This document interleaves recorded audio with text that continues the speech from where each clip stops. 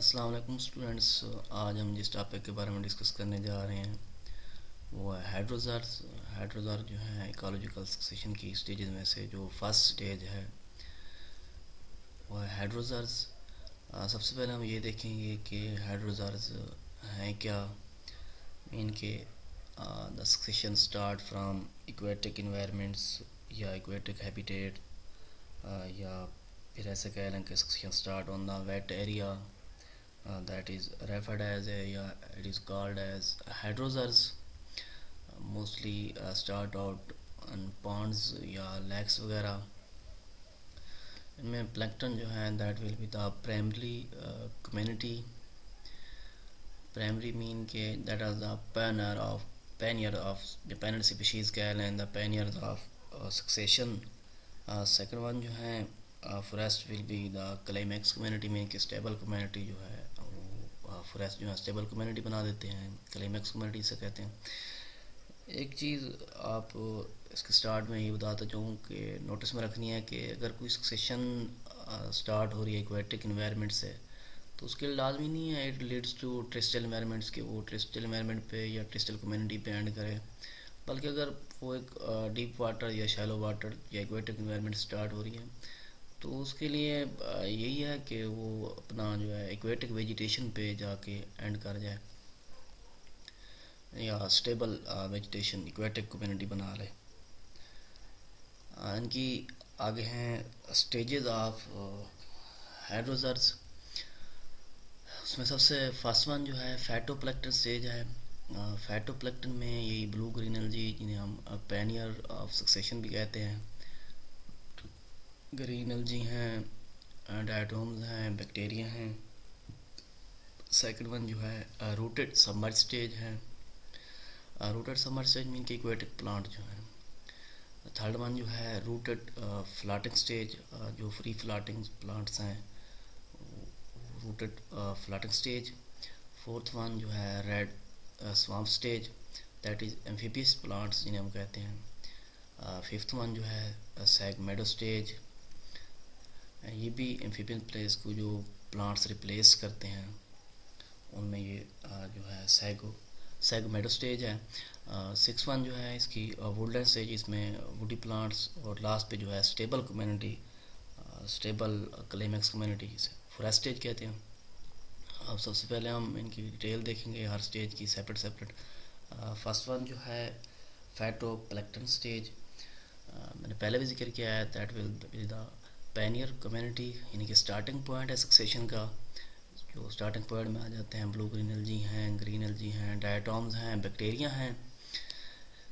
साथ में ये मल्टीप्लाई भी होते हैं ग्रोथ भी करते हैं कुछ वक्त के लिए लाइट एनर्जी को भी फिक्स कर देते हैं। जब इनकी डेथ होती है तो ये सेल में या वाटर में न्यूट्रिएंट्स ऐड करते हैं। इनकी डेथ की वजह से सेल या वाटर में न्यूट्रिएंट्स ऐड हो जाते हैं।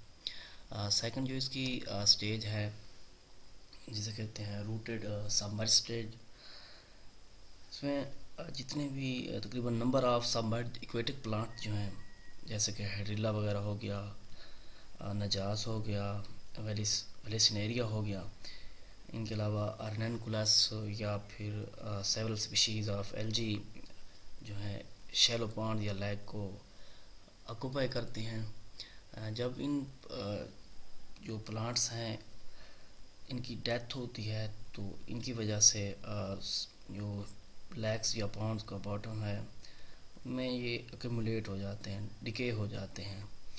इसकी वजह से rise the bottom of the ponds or lake इनकी एकमुलेशन के साथ सिल्टिंग में भी आल्सो एसोसिएटेड सिल्टिंग का प्रोसेस जो है सेल फॉर्मेशन का प्रोसेस जो है, वो भी इसी एकमुलेशन के साथ स्टार्ट होता है। इनके अलावा जो यहाँ है, इस हैबिटेट में फेना या फाना जो एनिमल्स जो ग्वेटिक एनिमल जो हैं या प्लांट्स हैं, उनकी भी डेथ होती है।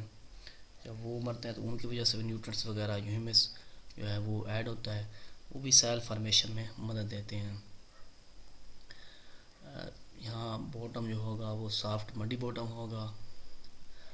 वाटर टैप जो है वो इनकी डिकम्पोजिशन या डेथ की वजह से ऐसा ऐसा कम होती जाएगी बिकम शैलो लाइट की पेंट्रेशन जो है, आसानी से लाइट पेंट्रेट कर सकेगी। और ये जो डेथ की वजह से जो न्यू हैबिटेट बनेगा, वो रूटेड हाइड्रोफाइट्स जो है, वहाँ ग्रो करना स्टार्ट कर देंगे। एग्ज़ाम्पल पहले भी बोला है कि हेड्रिला है वेलिसनेरिया है, इनके अलावा नजास है रेनकुलस है, और कुछ एलजी की स्पीशीज़ हैं।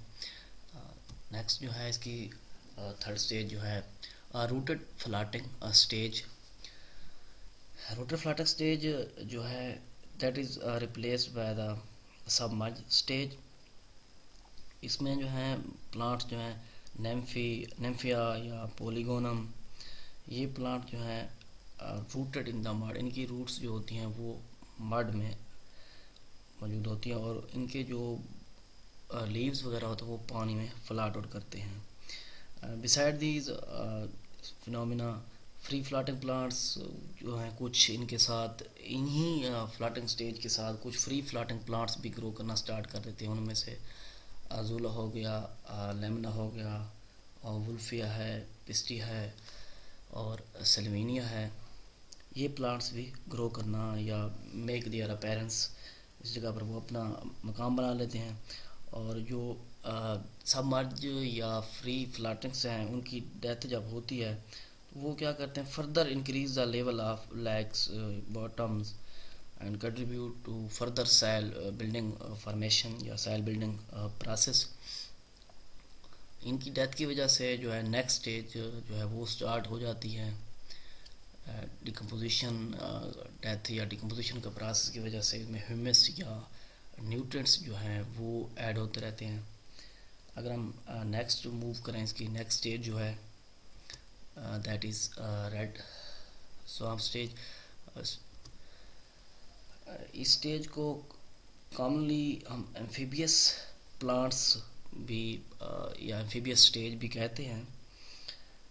ये इसमें जो भी प्लांट्स हैं एक्सट्रीमली शैलो वाटर मीन के एक फीट तक या चार फीट तक उनकी डेप्थ जो है पानी में होंगे।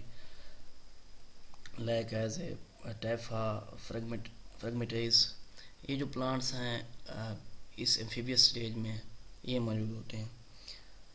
That are only partially submerged water इनके फुली तौर पर पानी में दबे हुए नहीं होते, या डूबे हुए नहीं होते पार्शली सब मार्जिन इनके रेजूम जो होते हैं प्रफ्यूजली ब्रांच होते हैं and rooted in the bottom of lakes इनके इनके इनके जो रूट्स होंगे वो बॉटम ऑफ़ लैक्स यानी कि लैक्स के अंदर मौजूद होंगी। ये प्लांट्स जो हैं लाइट अपने लिए यूज़ करते हैं और इनकी इनकी जो है कनापी बन जाती है। वो नीचे सबमर्ज प्लांट्स या फ्लाटिंग प्लांट्स जो हैं, उन तक लाइट्स नहीं जाने देते। जब लाइट नहीं पहुंचेगी उन तक तो उनकी डेथ हो जाती है। वो मारे जाते हैं और उनके डेड्स जो हैं remain settle down on the यानी कि वो बॉटम में पड़े रहते हैं। और वो फर्दर क्या करते हैं सेल बिल्डिंग प्रोसेस में यानी कि rising level of bottom of the lakes इनके लैक्स ऐसा ऐसा भरना स्टार्ट यानी फुल अप फिल अप करना स्टार्ट कर देती हैं। इनके सिटिंग का प्रोसेस भी आ, साथ में स्टार्ट हो जाता है। तो अगर जब ये आ, उनकी डेथ होगी तो इनके साथ ही कुछ नए प्लांट्स यानी कि second group of plant grown करना स्टार्ट कर देते हैं। जैसे कि सेक्रेटेरिया वगैरह हो गया। जब ये प्लांट्स ग्रो करते हैं तो ये फिर रेड स्वम्प स्टेज जो है ये जो प्लांट्स थे टेफ वगैरह इनके लिए ये इन्वायरमेंट जो है सूटेबल नहीं रहता। तो फिर जो सेल है वो ऐसा ऐसा become dry and enough to afford terrestrial species अब यहाँ पर टेस्टल स्पीशीज जो है ग्रो करना स्टार्ट करेंगे। तो नेक्स्ट जो फ़ेज़ है, उसकी तरफ़ मूव करेंगे। सेग meadow stage that is corrected by characterized by the plants like as Juncus Carex ये प्लांट जो है, अब ऑक्यूपाई करना उस एरिया पे स्टार्ट कर देते हैं। But the soil level continue to rise क्योंकि पीछे वाले प्लांट जो उनकी डेथ हुई, उनकी डिकम्पोजिशन से सेल फॉर्मेशन या सेल बिल्डिंग प्रोसेस जो है वो भी स्टार्ट है और साथ में उनकी वजह से क्योंकि आल सेल ऑर्गेनिक मैटर जो है, वो कंटिन्यू टू इंक्रीज़ उनकी डेथ की वजह से वो इंक्रीज़ हो रहे हैं। तो सेल फॉर्मेशन का प्रोसेस भी साथ साथ स्टार्ट है। यहाँ पर कुछ ग्रो करना जो कम्पिटेंट और जो डोमिनेंट प्लांट यहाँ जो हैं, वो ग्रो करना स्टार्ट कर देंगे। जैसे कि मेंथा हो गया एरस हो गया ट्यूरिकम प्लांट्स इस एरिया को इन्वेट द एरिया यानी कि वो यहाँ पर ऑक्यूपाई कर देंगे, काबिज हो जाएँगे। जब ये प्लांट्स ग्रोथ करेंगे तो ट्रांसपरेशन लेवल जो है वो इंक्रीज़ हो जाएगा। ट्रांसपरेशन लेवल के इंक्रीज़ होने से वाटर लेवल जो है फर्दर रिड्यूस हो जाएगा। और सेल बिल्डिंग प्रोसेस जो है वो भी, उसमें भी बनने में सेल बिल्डिंग प्रोसेस में भी तेज़ी आ जाएगी। और ये एरिया तकरीबन टू ड्राई मीन के बहुत ज़्यादा खुश्क हो जाएगा।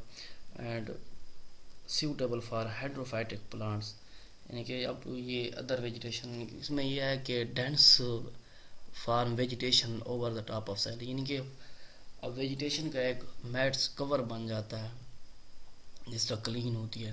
क्योंकि इनके रेजोम वेल डेवलप होते हैं इंटरकनेक्टेड होते हैं। अब soil that is expose to air इनके अलावा इसकी जो कैप्रेसी फैमिली के प्लांट्स हैं या पोएसी फैमिली के प्लांट्स हैं, वो भी यहाँ पर ग्रोथ करना स्टार्ट कर देंगे। जो हाँ न्यूट्रिएंट्स वगैरह आप जैसे कि अमोनिया, सल्फाइड्स, इनके ऑक्सीडेशन का प्रोसेस स्टार्ट होगा। ये नाइट्राइड्स और सल्फेट्स वगैरह में कन्वर्ट हो जाएँगे। इनके terrestrial soil formation proceed terrestrial formation soil formation जो है, वो स्टार्ट हो जाएगी। जब ट्रिस्टल सेल फार्मेशन स्टार्ट होगी तो ये नेक्स्ट फ़ेज़ की तरफ़ मूव करेंगे। जिन्हें हम कहते हैं wood land stage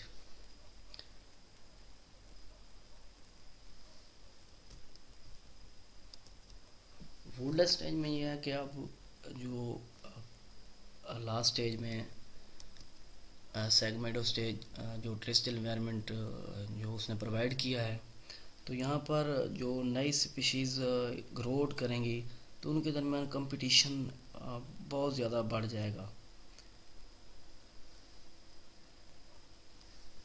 और soil that become the healthy soil और ऐसी साइल ऐसे समझ लें कि that is which remain saturated with water in springs and early earlier summer यानी कि new sub climax vegetation dominated by the shrubs and small tree इनके जो मार्शी वेजिटेशन है that is replace by the terrestrial plants यानी कि terrestrial में शराब्स हैं herbs plants जो हैं, वो ग्रोड करना स्टार्ट कर दें। उनके साथ साथ स्मॉल ट्रीज़ जो हैं, वो भी ग्रोड करना। स्टार्ट कर दें। इनके साथ साथ जो इंपॉर्टेंट प्लांट्स हैं, यहाँ पर वह सेलेक्स हो गया कार्नस हो गया अलनस हो गया पापुलस हो गया। ये जो प्लांट्स हैं, इनका शेड बन जाता है। इनकी शेड की वजह से सेग प्लांट्स जो हैं, वो डाई आउट करना स्टार्ट करें। उनके मरने की वजह से, उनकी डेथ की वजह से ह्यूमस यानी कि जब उनकी डिकम्पोजिशन हो गई तो huge accumulation of humus occur यानी कि बहुत ज़्यादा न्यूट्रंस इकट्ठे होना स्टार्ट हो जाएँगे। इनके अलावा वैरायटी ऑफ़ डिकम्पोज़र जो हैं, वो भी और सेल फर्टिलिटी जो है, वो भी इंक्रीज़ हो जाएगी। ये जो प्लांट्स हैं, ये इस एरिया पे अब ग्रोथ करना स्टार्ट यानी इस पर ऑक्यूपाई यानी कि काबिज हो जाएँगे। अगर shrubs and tree further lower the water in shrubs या ट्रीज़ या हर्ब्स की वजह से वाटर टेबल जो है, वो फर्दर डिक्रीज़ हो जाएगा। यानी कि सेल फॉर्मेशन का प्रोसेस अब बहुत ज़्यादा जो सेल प्रोसेस है सेल फॉर्मेशन का प्रोसेस जो है वो नियर टू एंड है। इसकी जो लास्ट स्टेज होती है, जिसे हम फॉरेस्ट स्टेज भी कहते हैं, अब जो लास्ट स्टेज में जो कंपटीशन थे, अब वुड लैंड कम्यूनिटी जो है totally invaded by the tree form यानी कि फॉरेस्ट कनापी मेजोर ट्रीज जो हैं वो अब डेवलप हो चुके हैं। इनकी वजह से, इनकी जो नीचे हर्ब्स या श्रब्स जो जिन तक लाइट्स जो प्रोवाइड कर जा सकती है, वो तो स्टेड करेंगे और जिन तक लाइट नहीं पहुँच सकती। लाइट पेंट्रेशन का प्रोसेस जो है उनके लिए, जो जितने भी लोअर कनापी के प्लांट्स हैं रिड्यूस हो जाएगा। इसकी वजह से हर्ब्स की तादाद या शब्द की तादाद वो भी है, ऐसा ऐसा कम होना स्टार्ट हो जाएगी। उनकी जगह वुडेड क्लिम्पर प्लांट्स जो हैं, वो डोमिनेट करना स्टार्ट कर देंगे। जो इन हर्ब्स और शराब्स की डेथ की वजह से जो सेल ऑर्गेनिक मैटर है, वो फर्दर इंक्रीज़ कर जाएगा। मीन के पहले भी कहा कि फर्टिलिटी जो है, उसकी इंक्रीज़ हो जाएगी। इनके दरमियान जो competition less intense and community become stable first one introduction में बोला भी था। कि जो प्लैंकटन्स हैं that are the pioneer of community और जो फॉरेस्ट स्टेज है दैट इज़ द क्लाइमेक्स इनकी स्टेबल कम्युनिटी बना देंगे। Climate community type of forest evergreen and serious forest इनकी एग्जांपल शौरिया कुरकस एसर अब जब ये ट्रीज़ ग्रोड करना स्टार्ट करेंगे, यानी सेरे पर काबज होंगे तो वहाँ कुछ एनिमल्स भी वहाँ उस फॉरेस्ट में ग्रो अपना हैबिटेट अपने आप को महफूज करने के लिए वहाँ अपनी जगह बना लेंगे। और फिर उनके दरमियान रिसोर्सेज प्लांट के साथ साथ एनिमल में भी फ़ूड शेल्टर का रिसोर्स जो है, या लोकेशन का वो भी चलता रहता है। ये था आज का हमारा टॉपिक जो था स्टेजेस ऑफ़ सेक्शन में से फ़र्स्ट वन हाइड्रोजर थैंक्स अल्लाह हाफिज़